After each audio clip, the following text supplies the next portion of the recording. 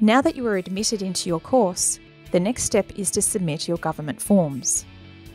Depending on the offer you have received, you may be eligible for Commonwealth assistance. If you are eligible for Commonwealth assistance, you will need to submit an electronic Commonwealth assistance form, or ECAF, and submit a Student Services and Amenities Fee Help form, SA Help, if applicable.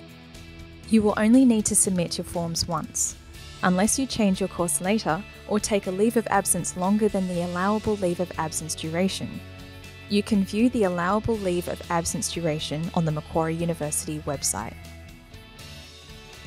To submit your ECAF form, in the My Enrolment tab, select Complete.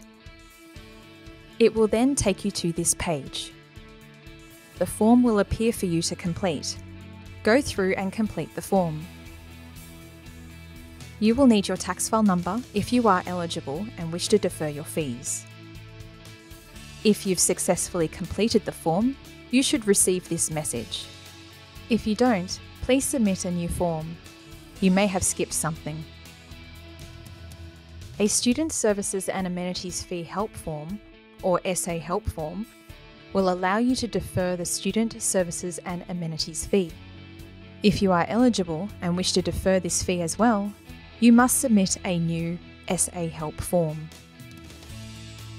On the left hand side, click Submit Commonwealth Assistance Form ECAF. Click Add New Click Complete Form beside Request for a SA Help Loan, and then complete the form and submit it. If the form has been automatically approved, the following message will display. If you do not see this message, you will need to submit another form. You're all done! You have now submitted your government forms. In tutorial 2, we will update your personal details. See you there.